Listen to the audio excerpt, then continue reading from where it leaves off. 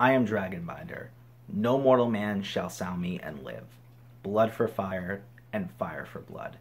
This is the text inscripted in ancient Valyrian on the Dragonbinder, a legendary item in the Song of Ice and Fire book series that may just be introduced in the show in the weeks to come. What's going on, guys? Professor of Thrones here, back for another informative lesson. This time, we are going to be discussing the Dragonbinder, an item of paramount importance that is very closely tied to the Greyjoy family. So if you remember back to last week's episode, we saw Euron Greyjoy petitioning to Cersei to attempt to both woo her and form an alliance with her.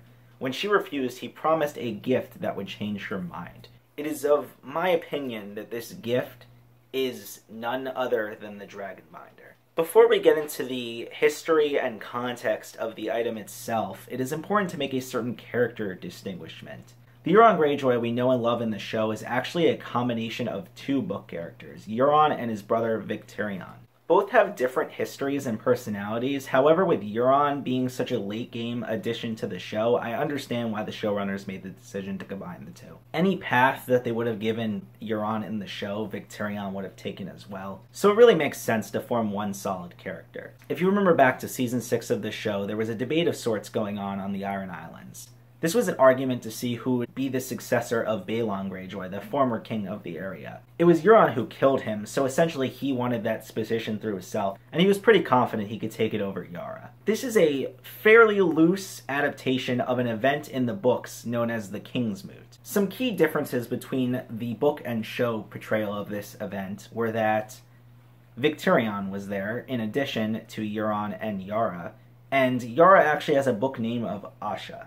I'm now going to break down exactly what happens at these events in the book so you can understand the implications of the item in the show. So the argument was getting very tense. It was getting close to turning to violence. Everything was loud and chaotic, but all of a sudden, one sound pierces the chaos. It was a horn that sounded of screams and silenced everyone at the event. This was the Dragonbinder. Euron had acquired this item and had one of his lackeys by the name of Cregon below it. Cregon then dies. Euron proclaims that he will use this horn to take control of dragons and restore glory to the Iron Islands. Although Asha questions this, saying there are no dragons around, he declines to tell her that he is referring to Daenerys' dragons, which she apparently does not know about. This proclamation wins Euron the King's Moot, and he takes control of the Iron Islands. It is unclear how he actually came to obtain this item. He says he found it while exploring the ruins of Valyria, but others argue that he ambushed a warlock ship leaving Qarth after Daenerys destroyed the House of the Dying.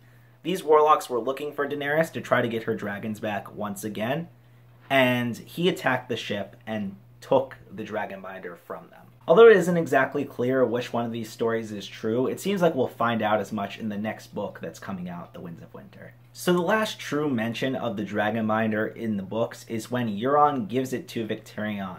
He trusts it to Victarion and tells him to go to Meereen and give Daenerys a marriage proposal in his place. Since anything past this is Winds of Winter speculation, it seems that he's probably going to use it when Daenerys declines Euron's marriage proposal, but who knows? In the show, however, it seems like they will be removing the dying properties. It makes no narrative sense for this in the show Deus Ex Machina item to come and kill Cersei when she blows it. However, I don't believe that this means they'll remove its dragon controlling properties. Cersei may use the item to take control of at least one of Daenerys' dragons and sort of make it a fair fight. But who knows, maybe Euron won't actually give it to Cersei. Maybe he'll use it himself, and that will be the, all the proof she needs. But I guess with both the books and the show in this case, we'll have to wait and find out.